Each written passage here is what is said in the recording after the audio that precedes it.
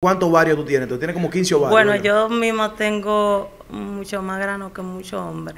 En verdad hice un atraco, atraqué un hijo de un cor- hijo de un coronel y se tuvo en verdad que, que avaliar. no se quería, pero se puso bruto. Ella entra a la celda, cuando ella entra a la celda. Naya dijo ¿Qué? hola con su carita limpia. Y ahí las mujeres le dijeron, ay, hola, y la sentaron, le dijeron, siéntate ahí, le dijeron, ven, que tengamos que revisarte, la revisaron en el baño, volvieron y la sentaron, y cuando ella estaba sentada en la silla, yo salí de la de atrás de mi goleta. De una vez yo le entré.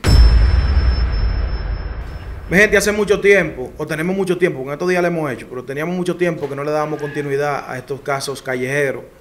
Eh, en el 90% de los casos siempre entrevistamos hombres, que son los que más andan en la avenida. Pero la entrevista del día de hoy, cuando me contaron la historia detrás de cámara, me sorprendió mucho, porque es una mujer y hace cárcel por atraco, eh, por estupefaciente, por sustancia controlada, andar en la avenida duro, meter la cabra. O sea, tú siendo una mujer, eh, no se puede decir que tiene que tener dos, cuatro cocos. ¿Cuánto- ¿Cuántos ovarios tú tienes? Tú tienes como 15 ovarios. Bueno, yo mismo tengo mucho más grano que muchos hombres allá.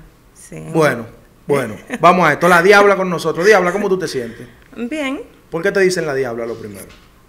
No sé, me bautizaron con ese nombre Pero te bautizaron con ese nombre después que tú cogiste la calle o antes. después que cogí la calle. Ok, vámonos por paso. Vamos, vamos a comenzar primero con tu vida. ¿Cómo fue tu niñez y dónde te criaste? Mm, Bueno, yo me crié normal con mi, mi mamá. ¿Y tu papá? No, con mi papá no. Mi papá se buscó otra pareja, tuvo más hijos, o sea, eh, se mudó para acá, para Santo Domingo. Y yo me quedé con mi mamá allá en Bonao. ¿Te faltó esa parte de un padre que te dé tu pelita, que, que te diga, mire, esto no, está, esto no está bien? ¿Te faltó eso? ¿Tú entiendes? Tanto no, porque yo tenía a mi padrastro y en verdad sentía que él tapaba la falta de mi papá. Ok. Eh, en la etapa de que los chamaquitos van a la escuela, estamos hablando de 6, 7 años, que en ese tiempo todavía se supone que hay cierta inocencia. Eh, ¿En esa etapa pasó a- a- eh, algún problema contigo? No sé. Bueno, mi primera vez que yo peleé eh, fue a los nueve años y mm, caí presa a los nueve años. Escúchame, ¿qué provocó esa pelea a los 9 años? Eh, bueno, eh, estábamos en un grupo de baile normal, de carnaval, y hubo una discusión entre una compañera y yo, y peleamos. Nos llamaron los policías y nos llevaron, pero éramos menores. ¿Qué tú le hiciste a ella? No dimos. Pero, que, que- pero, pero tú la cortaste.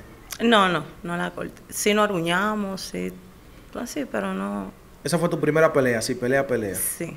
Ok. En ese momento en que pasa esa situación, ¿sentiste tú algo que te subió? No sé, un gustico, algo, como que le, le encontraste un amor a eso de pelear. Bueno, no que le encontré un amor, sino que como que no, no me dejaba como, como de otra gente, así como que... Ya tú le uh, perdiste me- miedo a pelear. Exacto. Ok. Eh, te meten presa. Tú a esa edad, ¿pa' ¿dónde fue que te llevaron ellos? No, en el cuartel normal, mi mamá fue y me recogió. O sea, la mamá de, de- fueron las dos madres, mi madre y la madre de mi compañera. Y nos recogieron normal, pero eso fue de un catiguito, eso fue por un día. En el cuartel, a esa edad. Entonces, en ese momento, tú no te imaginabas, claro, tú, eh, no hay un aparato que tú puedas ver el futuro. Tú no te imaginabas en ese momento que más adelante tú ibas a ser una tigra de la calle y que ibas a coger cárcel de verdad. No. O Mira. quizá, no sé, porque tú sabes que uno coge vías que en verdad... Yo comencé en verdad en la calle, en la calle de verdad ya a los 11. Eso Ya- es lo que te digo. Hay una etapa donde se pierde la inocencia. ¿Cómo se pierde la inocencia de una niña? No hay que taparlo aquí. O de una mayor de edad, porque no tiene que ser niña nada más, no en todos los casos es niña. Pero, co- ¿dónde se pierde la inocencia? La primera vez que tienes relaciones con un hombre. ¿A qué edad fue tu primera vez? Mi primera vez a los 12. Entonces tú me dices que a los 11 tú comenzaste a conocer la calle. ¿De qué manera? Eh, andando en los paris, eh, yendo al parque. Y ahí comenzaron los problemas por naciones contrarias. ¿Tú te metiste a Naciones? Sí, yo soy blanco y negro. Ok. ¿Y, y, y qué tú Hasta tuviste, morir. Y, y qué tú tuviste que hacer para entrar a esa nación? ¿Cómo fue eso? No, yo me conseguí un novio y mi novio era de ahí y ya. Y entré. Normal. Ya después de eso, me tuvieron que dar mi banda. ¿En la misma nación? O sea, Todo el mundo. No en la misma nación porque es- somos hermanos. Sí, pero te digo que la nación se dieron cuenta de que tú tenías su rabia y que, que Claro, podían contar de contigo. una vez, claro, porque esa gente proban a uno, eso en el mismo parque, eh, toma esa pistola y ve buscar tal cosa. Y ya, es una prueba. Y tú lo buscabas. Lo buscábamos. Mira, Claro. entonces estamos hablando, vamos por los 12 años, vamos a ir por paso. Eh, eh, así como va subiendo tu edad, ¿qué edad tú tienes? 32. 32, que así como va subiendo tu edad, van subiendo la vivencia. Entonces, 12 años. Ya tú tienes tu noviecito, que tuviste relaciones. Eh, ¿Cómo eran en tu casa con ese tema de que tú, tú- de- de- no sé, no te revisaban? ¿Cómo era? No, no, no, no, no. Con mi primer novio que tuve, no fue que me hizo mujer. Quien me hizo mujer fue el papá de mis hijos. Era. um, Cuando yo lo conocí en ese entonces, él era capitán de la policía. Él murió en un accidente siendo coronel. Pero ese era el papá de mis hijos. O sea, ese fue el que me hizo mujer a los 12 años.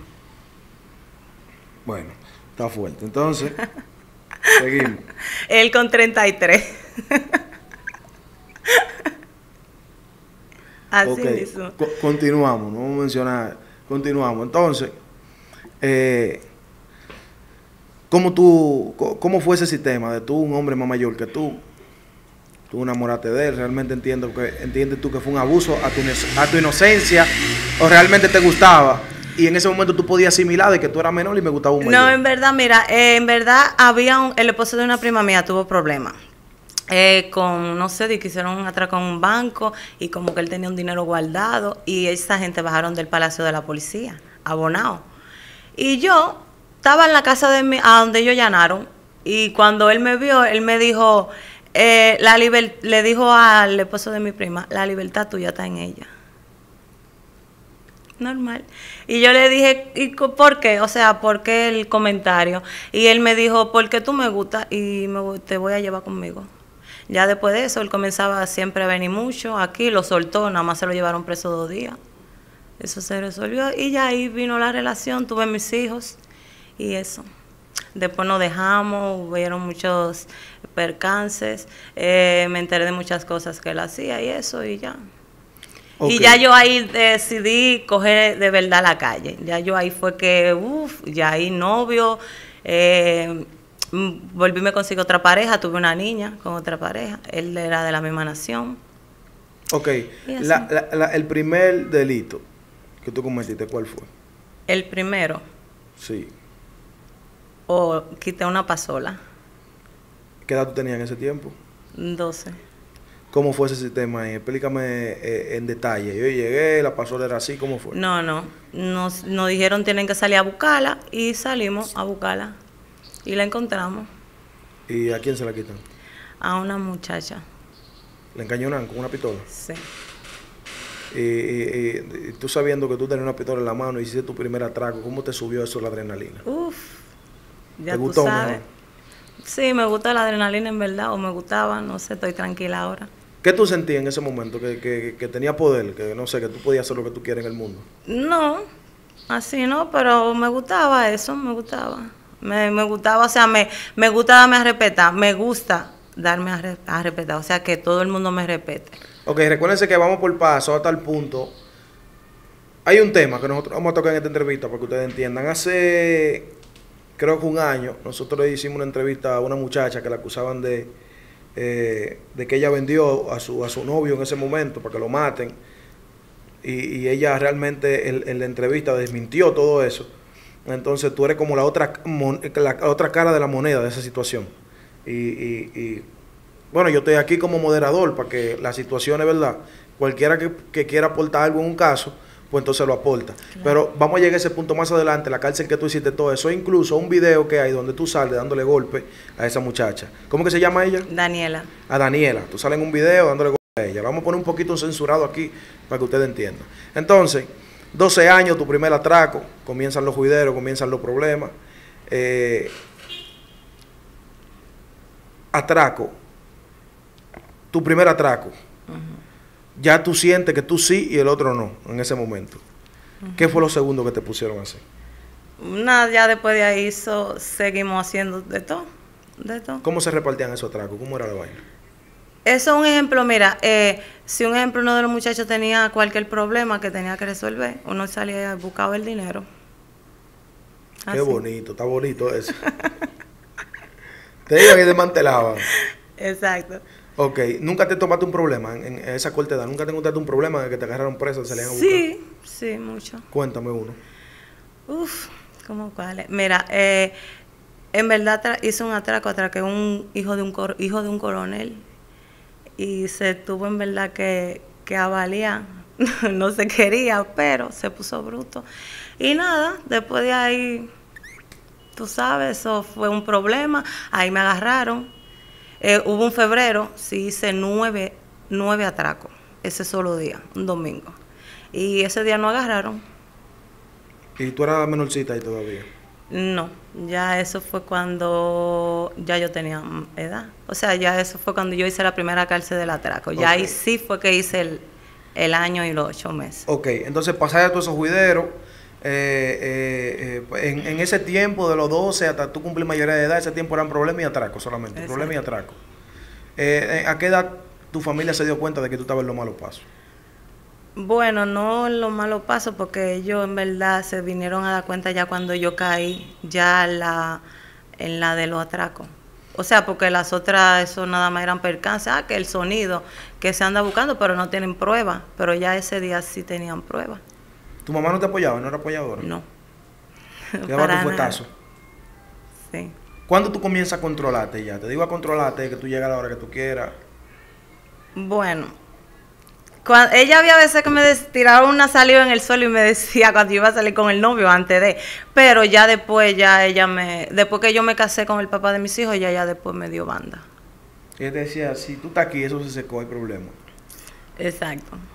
Si tú no has llegado. Bueno. Entonces, vámonos con la primera cárcel. Ya que lo otro fue atraco, problema, problemita y cosas. Vámonos con la primera cárcel. Hiciste nueve atracos en un día. Ujú. Ustedes estaban ligados, pero feos. Más o menos.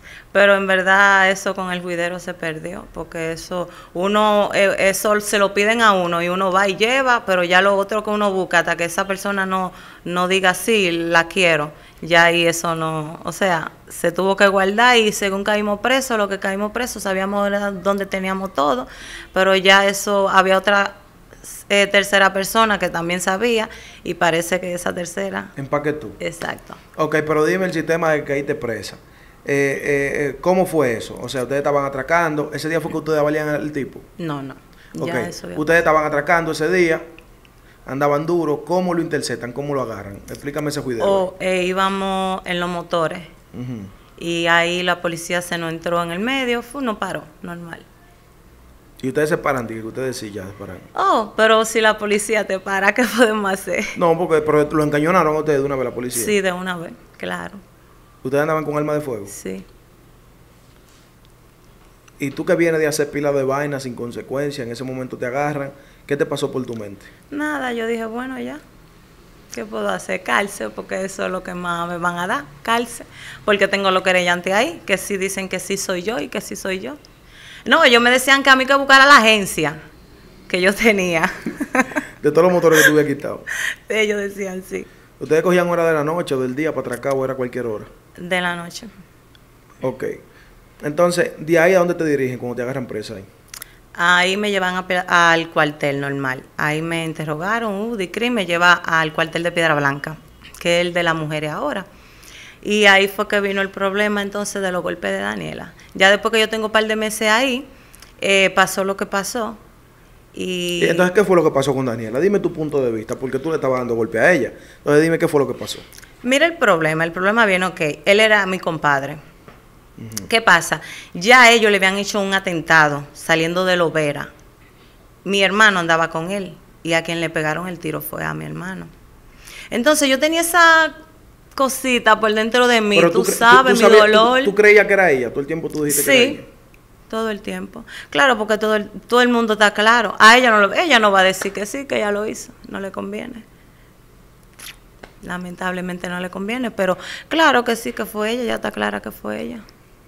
Bueno, está bien. Entonces, eh, eh, eh, pasa la situación. Tú me dices que a un hermano tuyo lo van a balear ya en un atentado. Exacto. ¿Qué era lo que tú- entendías que ellos, que ellos buscaban, lo que mataron al muchacho? ¿Qué era lo que ellos buscaban Dinero. con esa muerte? El dinero.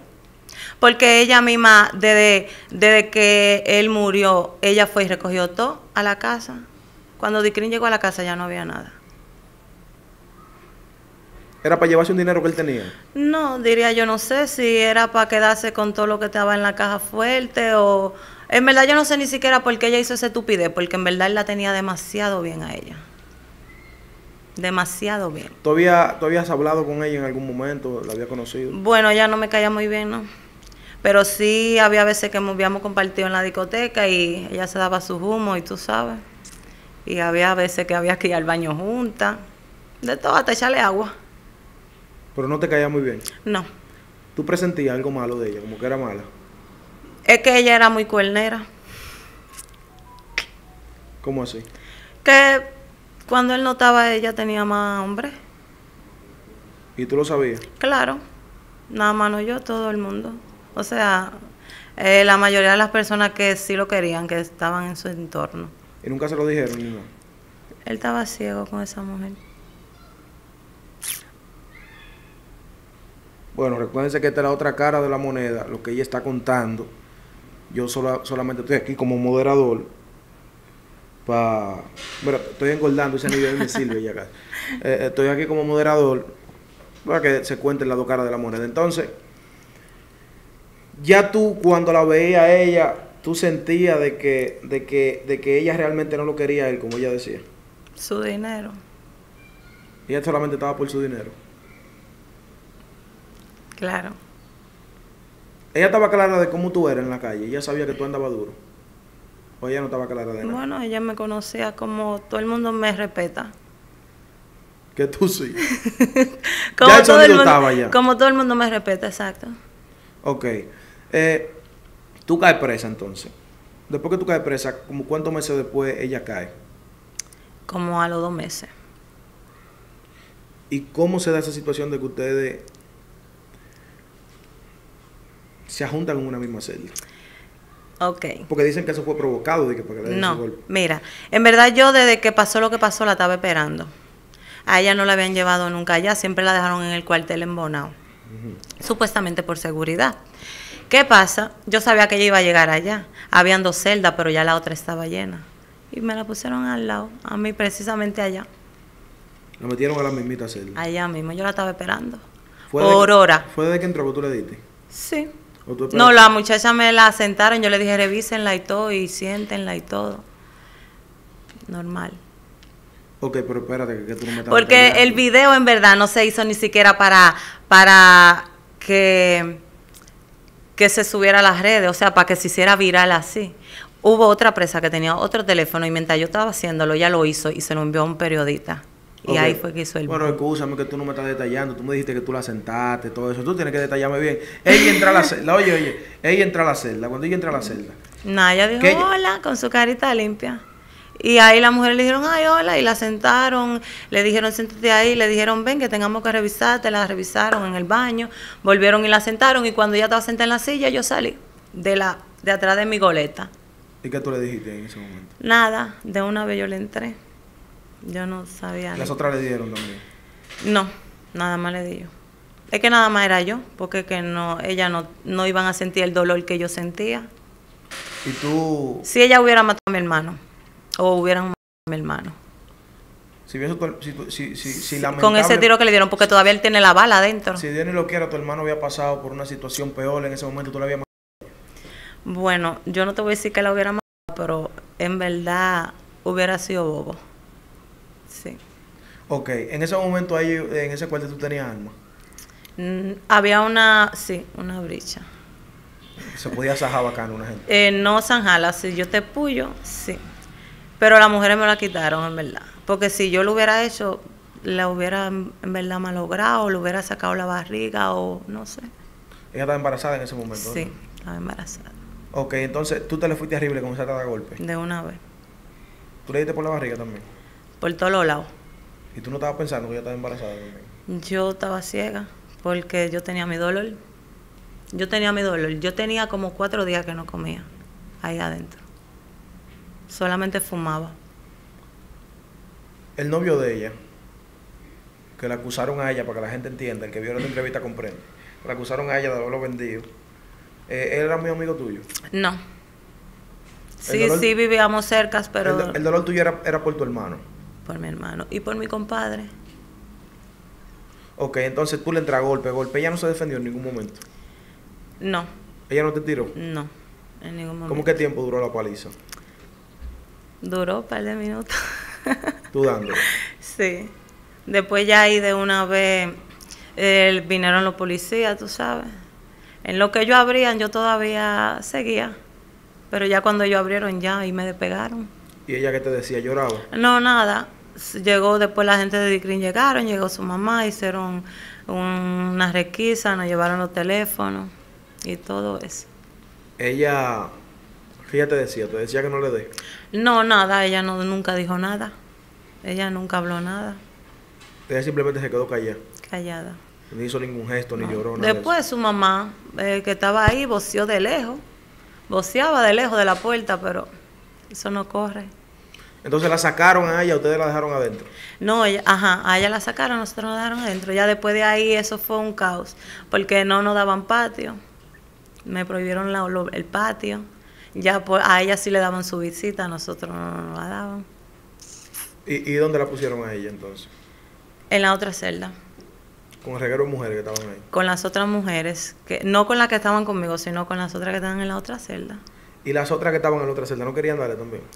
Que si no querían, no. No tenían, ellas no tenían que ver con eso y estaban ahí tranquilas. Somos, éramos hermanitas todas ahí de, de celda. Ok, entonces tú vienes de meter cabra en la calle, pero ahí en ese sistema donde tú estabas presa, yo sé que las mujeres no es tanto como los hombres. Los hombres tal vez hay más pelea, más juidero, pero como quiera se mantiene un respeto. Exacto. Dentro de todas esas mujeres había, había una que metía más cabra que tú, o, o cómo era la vuelta. Bueno, no era que nos metíamos cabras, sino nos respetábamos mutuamente y siempre conversábamos. Ya si cuando estábamos en la cárcel ya más grande, sí, ahí tú sabes que los problemas, en la que son ruling como Samana. Pero en la que tú estabas aquí, que le diste a ella, ahí no era ruling. No, sí, eso es un cuartel, ahí eso es ruling. Eso era el cuartel normal. Ok, entonces a ella, ¿pónde se la llevan y pónde te llevan a ti? Ya cuando lo mandan No, ya a mí me mandan para Samana y a ella la dejan aquí. Eh, ustedes después la llevaron a Santiago, pero ya después que ya yo estaba en Samana. Ustedes compartiendo celda y vaina, ustedes no... Tú no le voceabas vaina a ella. No te apures, que si yo no, No. Eh, ya sí cuando después ya lo último, si no estaban dando visita y la de ella se la daban adentro eh, de un puertón, o sea, donde están los policías, nosotros nos dejaban en el patio, pero eh, tú sabes, sus amistades, y cuando me veían, me voceaban, pero yo normal, me quedaba mirándolo porque ¿qué voy a hacer? Ellas pueden decir todo lo que quieran, ellas lo que no me pueden es poner la mano. Bueno, entonces, ¿para dónde te trasladan de ahí? Para Samana. En Samana, ¿cómo es ese sistema allá? Cuando tú llegaste, ¿cómo era esa cárcel? Ruling, normal. Ruling, todo, todo, normal, música, bebida, vicio, de todo. Cuchillo, machete. De todo. Cuchillo, machete, así mismo. Tú llegas allá y tú eres de aquí, de, de Bonao. Eso es otro sistema, para allá otro mundo que tú no conoces. Te trasladan para allá. ¿Cómo fue? ¿Cómo te recibieron allá? Bueno, a lo primero no sabían que era yo. Pero ya después, porque no van, eh, nada más no me trasladaron a mí, trasladaron a dos más que eran mi compañera, que habían dado, le habían dado unos golpes a una muchacha con unas cadenas. Y ellas se pusieron a hacer una avería, entraron, eh, parece que fue la misma Daniela que hizo la diligencia y entró un buchana para adentro. Y hubo una de ellas que se emborrachó y se cortó las venas. Y ya ahí se dieron cuenta que era que ellas estaban bebiendo nos trasladaron a las tres juntas a Samana. Ya después que llegamos allá, no, normal, cuidando una con otra, porque ellas no eran en verdad no te voy a decir que no son no sean guapas y que se dejaran dar, pero en verdad el sistema de la cárcel, ese sistema de la cárcel, ellas no lo iban a, aguantar sola. Porque en verdad son muchachitas, eran muchachitas. Ellas no sabían el sistema, no tenían, no tenían el window instalado como tú. Ok, entonces tú llegas ahí, ¿cómo, cómo fue la recibida ahí? ¿Hay presas que te ponen claras en el sistema de que Sí, te dicen, salió "Mira, la probó, aquí sí, no hay una eso, probó"? Aquí nosotros te clavamos de cabeza y vaina, ¿cómo era la vaina? No, sí, claro. de Cabra todo. te metían, al principio. De todo, sí, no, a lo primero el problema era por la fumadera, los días de visita, y yo no andaba en esa. Yo me la fumaba arriba hasta del presidente que fuera, normal. Y, y cuando te decían entonces, vaya, apaga eso, si tú no quieres que te No, no, ella iba y me hacía mi bulla, normal. Uy, yo le decía, "Mm, mm, mm, mm, espérate, que tú no me la vas a bajar. Y me iba y la dejaba hablando sola. Tú no me normal. vas a bajar la nota, tú le decías. pero nunca eh, di que, o sea, sí tuvimos problemitas, pleitico, con, eh, hubo un problema con una de las mismas muchachas que te estoy ¿Qué diciendo. pasó ese problema? Cuéntame. Una ¿qué haitiana le, le- la cortó con una Coca-Cola.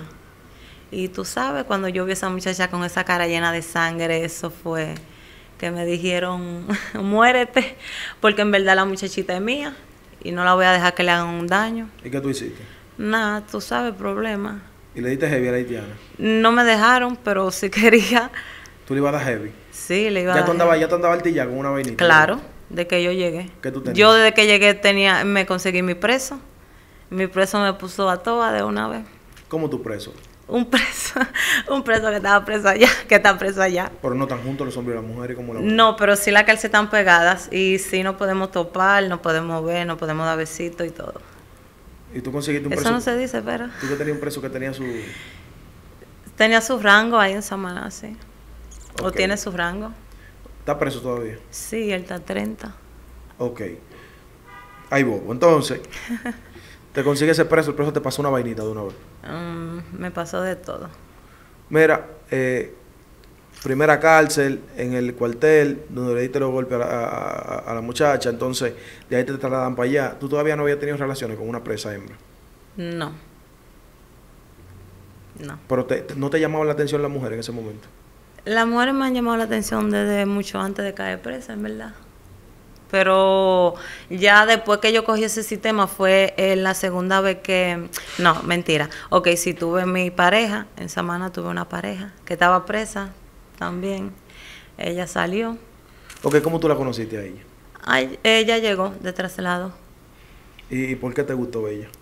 No sé, me llamaba la atención. ¿Cómo era ella? ¿Blanquita, morenita? Blanquita, indiecita, flaquita. sí. Flaquita, más débil que tú. ¿Y por qué tú dices? No, porque hay del sistema. Porque yo siempre veo en el meneo y vaina en el barrio que hay una siempre que la No, pero ella era viva, ella era viva. Ella era. Sí, viva, viva. ¿Ya te había tocado con mujer en la calle? No. ¿Y cómo fue esa primera vez? Ah, bueno, ¿En una goleta? normal, sí, en una goleta. ¿Te gustó esa primera vez? Sí. Entonces tú tenías esa presa y tenías el preso también. Ajá. Después vino el problema, me soltaron. Yo fue ¿Cuánto tú duraste ahí? un año y ocho meses. Pero que tú estás contando un año, esos meses pasan mucha vaina. ¿Llegaste a pelear tú? Allá. ¿A plantarte con una gente a pelear? No. Ahí no Así de que, de que, uh, no, no. Ya el problema de la, de, de la haitiana. Ok, sale. Sale, tú vienes de la calle duro, la cárcel te tranquiliza un poco, o cuando tú sales viene más duro todavía. Bueno, eh, me tranquilicé un poquito, pero eh, ahí vienen los otros problemas. Eh, yo me conseguí, eh, o sea, hubo una gente que me hizo una oferta para que yo trabajara con él. Y yo acepté, que ahí fue cuando, de cosas, o sea, de cosas ilícitas. Ok, tú comienzas a trabajar con él, hacer tu vaina, eh, en juidero en la avenida. En ese Exacto. momento tú, tú cuando sales para la calle ya tú tienes un sonido de que tú le diste a fulana.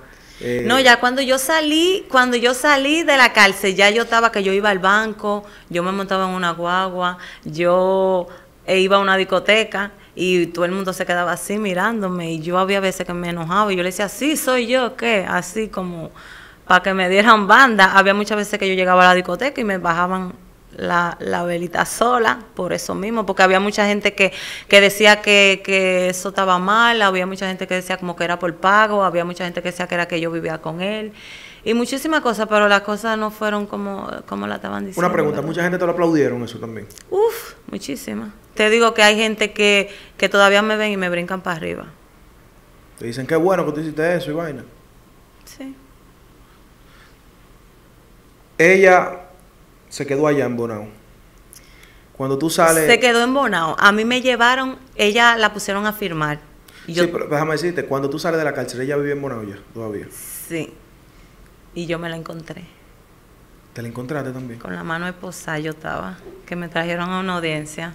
Y ella no quiso entrar. O sea, ella cuando ella me vio, ella se frenó así. Y ella me miró. Y, la, y ella le dijo a la muchacha, yo vine a firmar. Y la muchacha le dijo, pero ven aquí, porque yo no puedo ir allá. Y ella fue normal y le dijo, ella estaba nerviosa. Ella firmó, ella estaba nerviosa. Y yo en verdad, no, me le paré al lado, normal. Y le dije, a ti te cuida el diablo.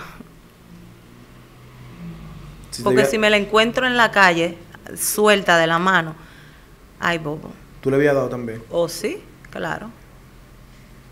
Y en la actualidad, si te la encuentras. ¿Eh? En la actualidad, si te la encuentras, ¿qué pasa? No, ya yo le di banda a eso. Ahora si ella quiere problemas. No, no, no, pero que no tampoco estamos incentivando los problemas. O sea, quiero saber tu parecer. Para que, No, para no, que si, ya tú dices, si tú dices, eso, sí, yo le voy a dar, ella para evitar el problema, entonces sí te ve que doble por otro lado. No, ya yo solté eso. Ok, entonces vamos ahí. En la avenida, ella tú estás suelta, está trabajando con una gente por ahí, no tiene que mencionar a nadie. Está manejando con una gente, está en el sistema de la calle, la vaina, cae presa de nuevo entonces, ¿verdad? Exacto. Ahí por sustancia ilícita. Por mucha. ¿De cuánto estamos hablando? Mucha, mucha, mucha. ¿Más de un cuadrado? Mm, No, no así, pero más o menos. Y sí, verde, hierba también. De todo. Mm, Sí, una suma de dinero. Sí. Ahí te empaquetan feo ahí. Ahí me allanaron en mi casa, o sea, en mi apartamento. Ahí me allanaron y nada, normal. Para la cárcel de nuevo. Entonces ahí donde te llevan de nuevo, al cuartel de nuevo. Ahí me llevan al cuartel otra vez. Ahí en el cuartel duré dos, tres meses, porque ya el coronel no me aguantaba. Nos trasladó a toda la que estábamos. ¿Por qué no te aguantaba el coronel? Porque yo le hacía mucho lío, porque yo tenía muchos periodistas y yo los periodistas yo le tiraba y le decía que, que fueran, ellos iban y ellos decían, ¿cómo es que ella lo hace? El mismo coronel, ¿cómo es que lo hace? Si yo le hago una requisa todos los días y no le encuentro los teléfonos y cuando se lo encuentro me lo llevo. Tú lo escondías bien los teléfonos. Había veces que ellos llegaban ¡fua! y ya, los teléfonos en la mano de uno y había que dárselo, pero había veces que uno sabía cómo hacerlo.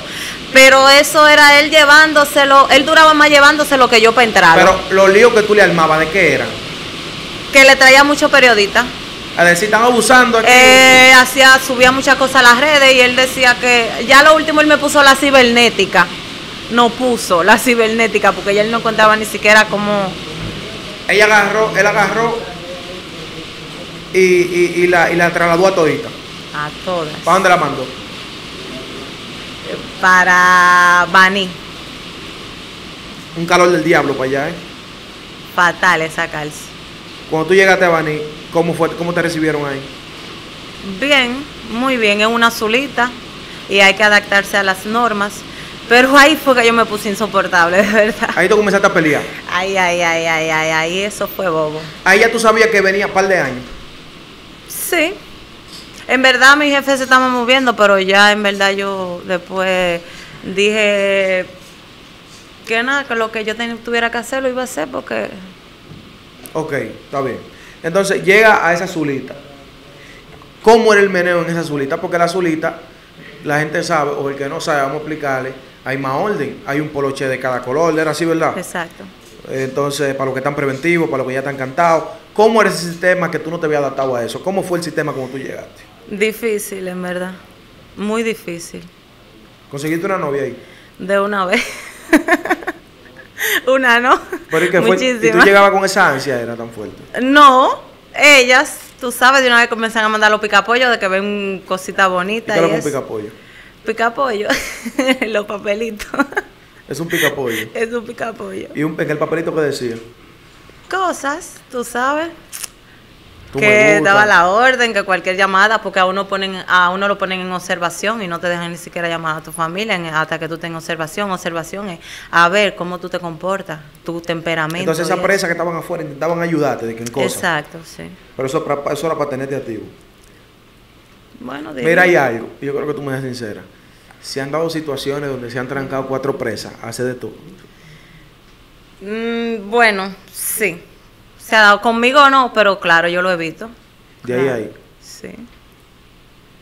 La mayoría de los problemas, en verdad, eso es, eso es por eso. Ha sido por pareja y eso. Y se ha dado situaciones, no quiero que menciones ni en la cárcel ni cuándo fue, pero yo creo que tú me digas sí o no, porque eso ya no, eso no tiene que ver. Tú puedes decir sí, por quién sabe en qué cárcel fue que pasó. Ok. Se ha dado situaciones donde, no sé, los que trabajan ahí en la cárcel le gusta una mujer y que los que van para la goleta y ahí metían mano. No, no. A los que la cuidaban a ustedes, no pasaba eso. No. Eh, yo sí había veces que me enojaba con mucha azulita y le decía, porque ella pasa en un centro también de un año igual que uno, o sea, como quien dice igual que uno trancado. Y yo me enojaba con ella así, así, le decía, tú eres una maricona, futrada también. y eso, tú sabes. Ok, entonces tú tenías par de novias. Cuando te trancan ahí en observación, te mandan los papelitos y la vaina. Cuando tú sales, eh, eh, ¿cómo fue la impresión de esa presa que te mandaban tu cosita? De una vez hablaban contigo, ¿qué es lo Mm. Sí, de una vez, claro. Bajábamos a comer juntas y todo y todo. Y de una vez, la- de una vez el mismo día también bregando. de una vez? No, no, así, ¿no?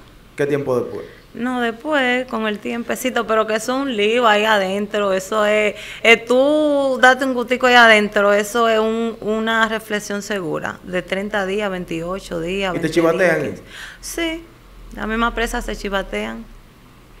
¿Y cómo se dan cuenta que tú estás con otra presa haciendo algo? Delante de todo el mundo hay una goleta. Oh, porque uno lo hace en momentos que tú sabes, y en verdad la mayoría se, ahí llegan eh, pollitas, como dicen, salen con plumotas así, en verdad. ¿Tú has visto presas que ponen a hacer sus cosas delante de todo el mundo ahí? No. Se trancan más y vaina.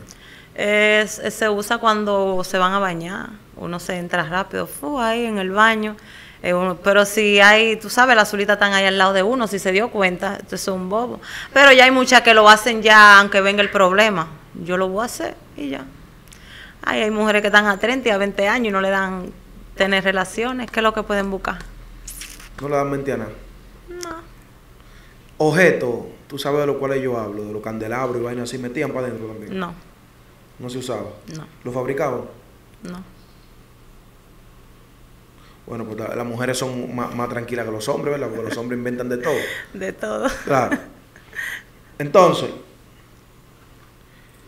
tú estás ahí adentro. ¿En algún momento tuviste un problema tú con otra presa por mujeres que le dieron para ti? Sí. Cuéntame algún problema de eso. Ay, ay, ay. Cuéntame. Bueno, hubieron muchos, porque yo una la, tuve- la tiré hasta la de la escalera, ¿Y por qué? por necia, ¿Y por qué, celos. ¿Y qué fue lo que, qué fue lo que pasó? Celos que viven celando, se celan, tú sabes, las mariconas no andan en eso, pero que uno no anda de que en ese sistema, si ese es su maricona, ese es su maricona. Y tú agarraste y la tiraste para abajo. Le di lo de ella, Le diste su fuetazo. para que me suelte, claro. Mira, y, y con el tema de, de, de que de que ya tú diste esos golpes, pero te van a trancar y vaina, te pusiste en reflexión ahí. ¿O sí? ¿Qué tiempo? ¿Cómo la Uf, reflexión? yo la mayoría de, de- eh, yo hice ahí en Bani un año y pico y de ese año y pico tal vez nueve meses yo lo hice todo en reflexión después el problema Del año y pico duraste nueve meses en reflexión. castigo porque le dije le decía cosas a las, a, a las agentes si un ejemplo no me querían dejar hacer algo yo le hablaba duro lo que sea ya por eso todo Por una mala palabra tú vas para reflexión de una vez. uf de una vez Entonces está bien, si tú sabes que te van a mandar para reflexión, ¿por qué diablo tú enchinchas tanto, hijo de tanto? porque ellas son le gustan hacer a los presos sin saber el problema que tiene el ¿Te preso gustan hacer la cosa de maldad? ajá Como para que lo, enchinchándolo para que vayan a reflexión. Exacto. Y yo no se lo, yo no le cogía eso, yo le decía, ese poloche también te sirve a ti. O sea, en cualquier momento tú puedes estar preso también. Normal. Como estaba el jefe de la cárcel, que no preparaba esa camita y le, le preguntaron que, ah, no, son presos, eso fue su contesta, pero en verdad, y él ahora, o como estaba. Bueno, está, está profundo ese tema. Mira, dentro de, de- de esos cinco años que tú hiciste, ¿cuál fue el momento más difícil de esa cárcel? ¿Qué pasó? De, de los cinco años, o sea, de todo. De los cinco años. Lo más difícil es que no pude estar con mi hijo en su proceso. Pero un día difícil dentro de la cárcel. ¿te Dentro de la cárcel. Sí. Es que todo eran difícil. Adentro de la cárcel todo es difícil. ¿El tiempo no pasaba? Uf, las horas no pasan. Cuando tú pedías visita, cuando, cuando No, yo no recibía visita. ¿Por qué? porque yo no no me no hacía esa doble cárcel eh, de yo de- eh, dejar que mis hijos y mi mamá vinieran a verme y después el bobo era cuando se fueran. ¿Y cómo tú te hacías con tus hijos para tú explicarles? Bueno, a la chiquita le decía que estaba trabajando y ya lo, lo más grande ya ellos estaban grandes y sabían. Y, y, y a la chiquita, ¿cómo le explicaban? Porque ella no te veía. Yo la llamaba mucho por videollamada y hablaba mucho con ella, normal. Ya, ella, ya yo lo entiende ahora. Ella, ella sabe de que su mamá está presa, pero en verdad es una niña todavía. Mm. Mira, yo sé que hay muchas mujeres viendo este video y tal vez se preguntan, coño, pero ¿cómo yo como mujer no me veo haciendo tantos videos y andando en la calle y dando golpes y atracando hombres y dando cachazos y qué es lo que es mentira, bam, bam, y presa y a mí no me importa, igual coger mi, mi solitaria y todo eso. Y se van a preguntar, ¿y cómo diablo esta muchacha tiene tanto valor siendo mujer para valer en ese mundo? Eso mismo, valor que hay que tener. Valor. Eso es lo único que hay que tener. Yo tengo valor suficiente hasta para morirme. Yo tengo el- eso es lo que yo más tengo, valor para morirme, en verdad. Tú no andas en cuica con gente. No, que- yo no. Yo no. Si armamos un problema y el problema se puede resolver, pues ya lo vamos a resolver. Ahora, si yo te digo, hablo contigo por la buena y tú quieres seguir con el problema, pues vamos, vamos al problema. Ahora, si puedo resolverlo, ya yo en es, es- así que estoy. Si puedo resolverlo, ya mis hijos son son menores todavía, pero les gustan andar mucho en la calle y los menores les gustan pelear mucho y eso. Cuando ya yo sé que tienen problemas con gente ya más mayores que ellos y más fuertes, pues ya yo ahí lo que hago es que resuelvo yo. Ya yo hago mi diligencia, por otro lado llamo, me comunico con gente, le digo qué es lo que está pasando, son hijos míos, ah, no, si son hijos tuyos está bien, el problema pasó ahí ya. ¿Son varones? Sí, varones. ¿Qué edad tienen? 15, 16, 17 y 20.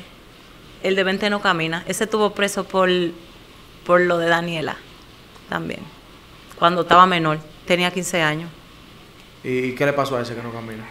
Él tuvo un accidente, se cayó de un quinto piso, pisó un andamio y el andamio se rompió. ¿Y cómo, cayó. tú, ¿Y cómo tú has luchado para tú... Le mando un mensaje, un, un- un saludo a los muchachos, a los menores.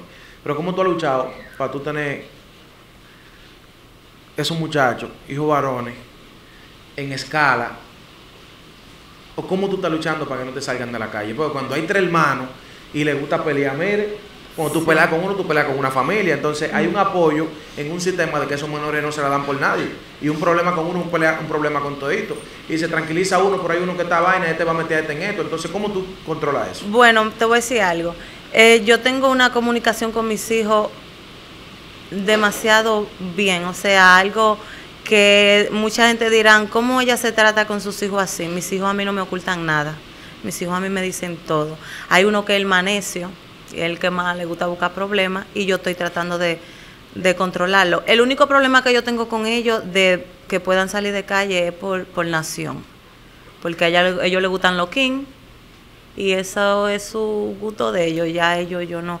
Pero mis hijos no de nada de que de vicio, nada de robar, porque yo le digo a ellos lo que tu mamá hace, tú no lo tienes que hacer. Y tú no eres la que le dices que para que la muerte llegue aquí, que llegue a la otra. Sí, yo hay veces que se lo digo, sí. Ah, pero que, te, pero que tú lo vas a meter en la calle. claro, no, pero yo le digo, el problema, si el problema, no lo busque, pero si llegó, resuelve. Y también recuérdate que hay conductas que son hereditarias, tú lo sabías. Claro. Él, él lo que te digo del, del, mm, del, del medio, que es el que tiene 17, es el que más, más me da Hay, hay, dolor de hay temperamentos que son hereditarios. Hay veces que cuando los papás tienen un cierto temperamento, los muchachos lo heredan, entonces lo heredan revolucionado al triple. Ese es así. Ese heredó lo mío. O sea, ellos todos tienen su valor, porque tienen valor. Todos tienen su valor. Ellos son cuatro hermanos y ellos los cuatro hermanos, ellos... Pero hay que ser cuidadoso con eso, porque no te le hagan un daño en la calle. Porque la No, calle- sí, claro, no, pero hay veces que a donde ellos llegan hay mucha gente que también se van, nada más porque son, son hijos míos. Bueno, qué fuerte. ¿Qué mensaje tú le mandas a todas esas mujeres que, que están ahora mismo haciendo tiempo en la cárcel, que andan viendo esto por un celular escondido? eh, que cómo que se debe de caminar, cuáles son las cosas que no deben hacer, cuáles son las que tienen que hacer. Y si no quieren buscar pleito, cómo tienen que mantenerse. Nada, ellas saben, ellas saben, ellas me están viendo, eh, ellas saben que como el sistema en verdad y, y para poder salir de ahí hay que tener una buena conducta. Ya yo lo que le digo, le digo a ella que se, que se retiren de los problemas para que puedan salir de ahí en verdad. ¿Fue la Porque- cárcel que te cambió o, o qué fue que te cambió? Bueno, la última cárcel, sí. Eh, ya el, el, la falta de yo tener todo ese tiempo sin mis hijos y sin yo verlo. Y, el mismo problema que te digo de- del que tuvo el problema y no pude estar, ¿verdad? Ahí en el instante de, de su proceso, de su terapia y eso, porque todavía se le está dando terapia. ¿Cómo tú te mantienes? O sea, no, no- no te digo lo cuarto, te digo eh, físicamente porque tú no pareces una mujer que tiene tantos muchachos. Normal. Normal, como me mantengo. Haces ejercicio, al gimnasio, ¿cómo Ah, sí, cuando yo estaba en la cárcel sí yo hacía mucho, pero ya no. Se deja la gana de poder salir. Bueno, eh, ¿qué mensaje tú le puedes mandar a la juventud ahí? Nada, que se porten bien, que dejen los problemas, que eso no da. La cárcel, eso de estar haciendo en cárcel, eso no da. Y hay muchas mujeres por ahí que están haciendo así, digo, se retiró, ahora que la voy a agarrar. ¿Qué mensaje tú le mandas a eso? ¿Tú crees? No, ellas están claras, ellas saben, no se pasan, no se pasan. Ni ella, ni, ni, lo, ni la hembra, ni los varones. No joden contigo. No. Y el que quiera joder es porque no me conoce, pero ya después viene, wow, otra gente pues muchacho, tú no sabes que eso es bobo y de una vez buscan la solución. Ok. Mira, ¿puedes dar tu número de contacto o algo donde la gente pueda contactarse contigo, comunicarse? ¿Tienes pareja tú actualmente? Sí. ¿Dónde la gente puede seguirte, todo eso? Oh, eh, que me busque, todo el mundo me conoce. Pero ¿cómo lo Todo el mundo me conoce, a mí me conoce gente hasta de Chile, de Japón, de Guatemala, a mí me ha tirado gente de todos lados. ¿Y cómo la gente Cuentan puede, así que yo tuve que eliminar mi Facebook y hacer nuevo. cómo la gente puede seguirte? Bueno, redes. Conoce a mi nombre, o sea, por, bueno, es de la raza. En las redes sociales. Ajá. Bueno, mi gente, síganla. Eh, allá los menores, los hijos de ella, le quiero mandar un mensaje. Tú eres apoyadora. La madre de ustedes es apoyadora. Es bacana de esto, pero apoyadora. No se lleven de eso, digo, ustedes son los más rabiosos, ustedes, tienen su valor. Pero recuérdense que su madre viene de que ella tiene su valor, pero hizo cinco años preso, que nadie se lo va a devolver a ella. Hizo anteriormente cárcel también. Y no todo el mundo corre la misma suerte, porque hay muchos que. Es más, el que anda en la calle haciendo delincuencia y vaina y anda que él sí, el otro no. Cuando coge cárcel es una bendición. Porque en el 80% de los casos lo que coge es cementerio, o hospital, o tú ves que son los más tiguerones, pero están lisiados. O le dieron un tiro, una vaina, o están ciegos, algo, un golpe en la cabeza, algo le pasa. Entonces, por lo menos el que tiene cárcel tiene esperanza de salir y seguir viviendo. Entonces, la calle no es buena. Eh, a alguien que tú quieras mandar un mensaje, mándaselo ahí, no sé, un saludo o lo que sea, a la prensa, a la vaina, a la- las mujeres que lo tienen en la Ah, las cárcel. mujeres mías, ellas saben que se comporten, que se porten bien y que ellas saben que nada es para siempre, que de ahí se sale. Y a mis hijos que se porten bien. Capricornio.